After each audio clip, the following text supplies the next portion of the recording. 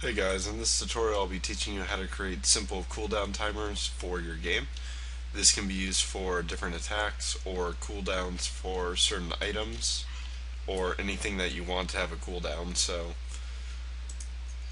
first thing you want to do is um, create a variable um, for your actual cooldown. So we'll set that to a boolean which is false. And then what I did was um, you want to go into the script that you call for the item. So when we press H, it uh, activates our health potion. So you want to add a piece of code that says health potion cooldown equals equals false. So, but you can name it whatever cooldown you have for your attack.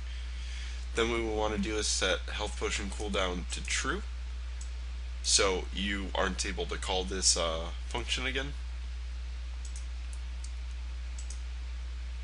And then what you want to do is call potion 1 cooldown, which I set as a function down here, but you can make it whatever you want.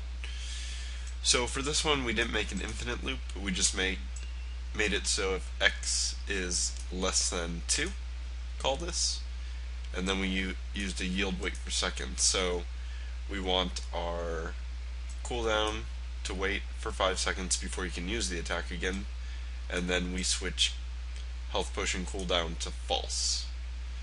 So that will enable us to activate this again. So that's pretty much how you do a basic cooldown. We can go in here, we can pick up our other item, and then I'll keep spamming H and you see that uh, it doesn't let you use it for five more seconds. So, I mean, you can do that for attack. So after you attack, you can set up that piece of code so your player can only attack uh, every couple seconds, and you can add different variables in there to uh, make it so maybe they can upgrade how fast they can attack and different stuff like that.